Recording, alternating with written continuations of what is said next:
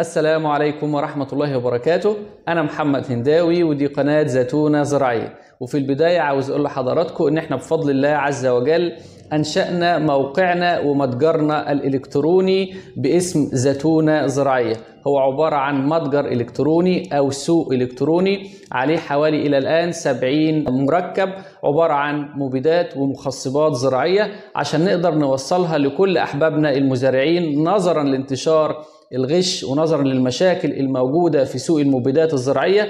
تقدر حضرتك تدخل على الموقع بتاعنا. هسيب لك اللينك بتاعه. أسفل الفيديو في صندوق الوصف. هتضغط على الرابط هتخش على الموقع. الموقع عبارة عن متجر إلكتروني تقدر تشتري من خلاله المبيدات والمخصبات الزراعية وهنوصلها لحد عندك إن شاء الله عن طريق شركات الشحن.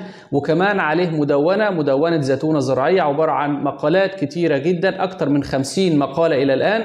حضرتك تقدر تستفيد بالمقالات دي وتقدر تطلع عليها. فما تنساش لما تخلص الفيديو تشرفنا على الموقع. والفايدة الثانية للسماد العضوي إن هو بيعمل على تخفيض بي اتش التربة. وطبعا زي ما قلنا إن التربة بتاعتنا بتميل إلى القلوية.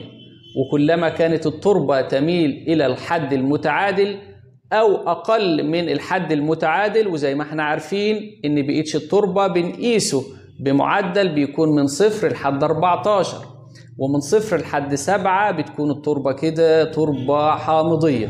ولو كانت من سبعة لحد 14 بتكون تربة قلوية. وأفضل حد وأفضل مدى بي اتش عشان يسهل امتصاص جميع العناصر الغذائية لما بتكون التربة متعادلة يعني بتكون عند 7 بي اتش فإضافة السماد العضوي بيساعد على تخفيض بي اتش التربة لأن أثناء تحلل المواد العضوية الموجودة في السماد العضوي بينطلق عندنا غاز ثاني أكسيد الكربون. غاز ثاني أكسيد الكربون بيعمل على وجود أحماض عضوية من ضمنها حمض اسمه حمض الكربونيك. الأحماض دي طبعا بتخفض بي إتش التربة. ولما نقول أحماض يعني هي بتميل إلى الشق الحامضي.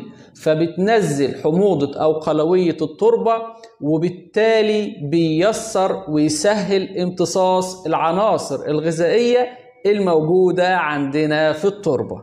وشكرا لكم والسلام عليكم ورحمة الله وبركاته.